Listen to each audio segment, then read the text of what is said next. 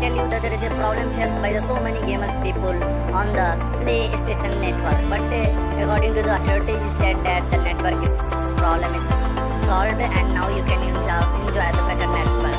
For more uh, update, you read the articles which I posted in this video. You can read it for latest update. Be with us.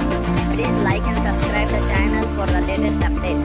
Thank you for watching this and we continue see this video till the last to get the more information on the PlayStation network soon.